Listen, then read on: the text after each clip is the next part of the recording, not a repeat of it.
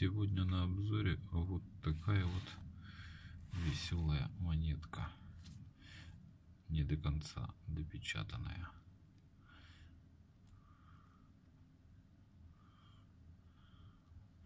В верхнем ряду буквы пропечатались не полностью.